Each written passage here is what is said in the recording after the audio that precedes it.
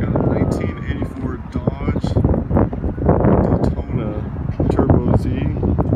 Still running, pass smog, has a few problems.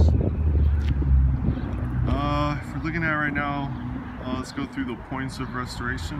Uh, obviously it's it's a keeper, something you want to keep running and try to get into shape. Uh, so obviously those tires in the front, those are rims that aren't matching. So uh, buyer, I mean seller sold the original ones and some extra ones and good tires. So got plenty of stuff to make it back to stock. We're missing the emblems on the back. Um, so if we're looking at the points of restoration, we already got two. We're counting all tires issues as one package.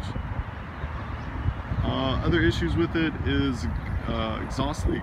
Uh, it's got exhaust leak, so it's gonna wait a few days to find out what it's gonna cost to repair that. It's got $260 in late fees plus $140 registration, so about 404 in total. Uh, maybe the math is incorrect there, but uh, it's 404 for total. Uh, it's gonna need side molds. So let's look at the side moldings. Alright, so if you see the side moldings right there, that is missing. Uh, it's really hard to find. I found one side molding that um, it's not an exact match, but it'll fit and need to be repainted, but uh, we'll need some alteration to get it going. Uh, we got this window, it needs to be repaired in a better way. Uh, definitely not a clean look. Obviously the paint. Uh, actually this hood when I got it was really nice. And either it had manufacturer defect that they said with the hood will, where it'll pop open randomly or else we forgot to shut it before I took off. And nonetheless the hood popped open and almost snapped off on the freeway. So I don't know if you can see those dents right there but it was able to get back into place. Uh, but unfortunately the coils on the inside had kicked in forward so I couldn't actually get it back down without removing them. So I was able to remove them push up the hinges back and then drop the hood and lock it. And then uh, the repair of bodywork will have to come later. Fortunately the under the hood has a double layer so you're not able to just pop the bump out. It's gonna have to be suction cupped out or uh, pulled out a different way uh, definitely paint. Paint is an issue.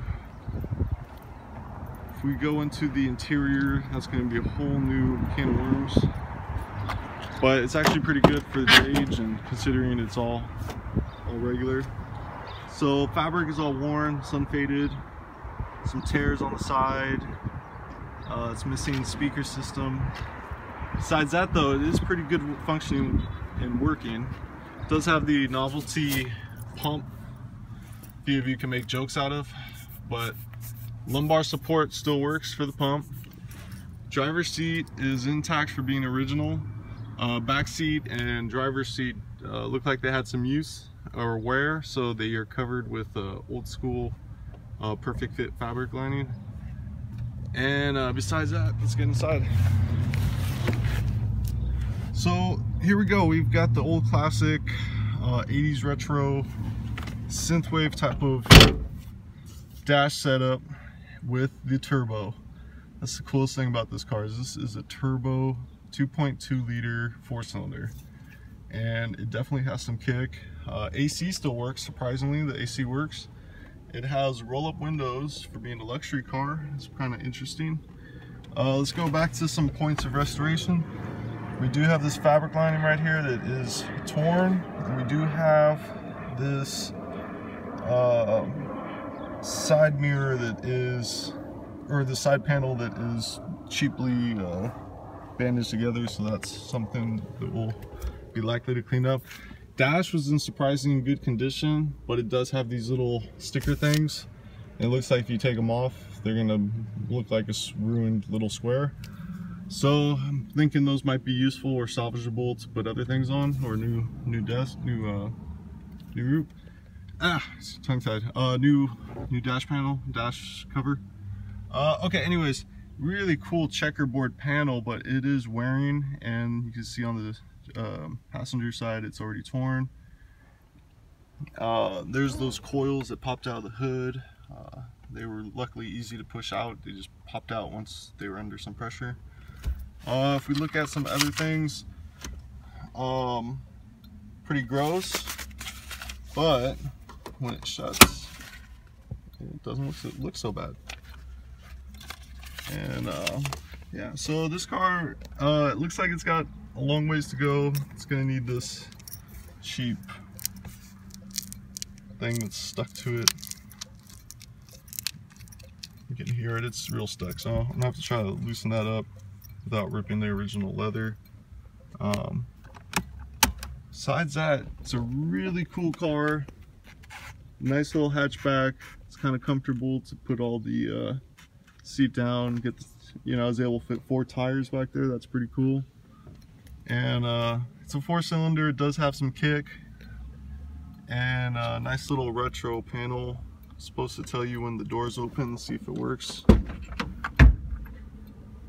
it on.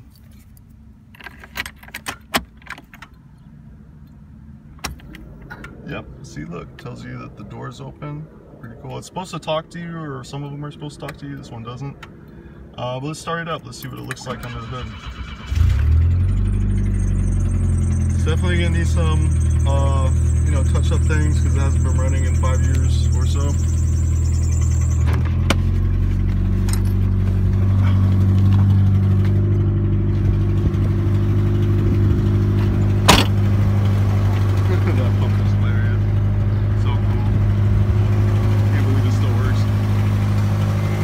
let's get it open.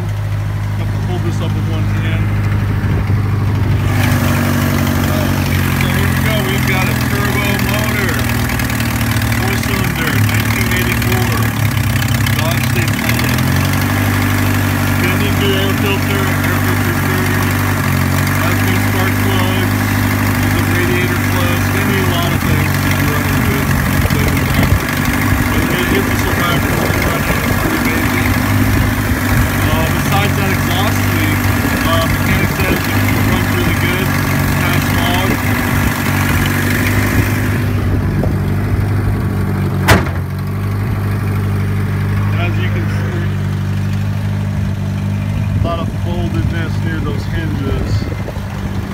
looks like it, it bent pretty good, so it looks like some of this stuff could be restored or salvaged. I mean, God, these parts are hard to find on this thing. But in all spots, it looks really good. It runs really smooth. Transmission and engine, great. It said there's a lot of issues with this car. And uh, looks like the original owner kept it most of its life before letting it go, which seemed to be to a donation auction. And before that, uh, sounded like there was a gasket issue and transmission issue. Uh, transmission fluid looks really clean, so it looks like there was some type of rebuild or fix with that.